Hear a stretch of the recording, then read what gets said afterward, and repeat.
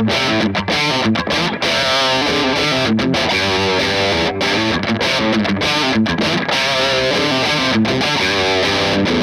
Epiphone Les Paul Jr., part of the Gibson Signature Collection. This is a modern classic. It's been around since the 50s. A single dog ear P90 Pro pickup, volume tone, wraparound tailpiece, rock and roll. This is all you need. This is minimalism at its best. Click on the link above or the description below for more details.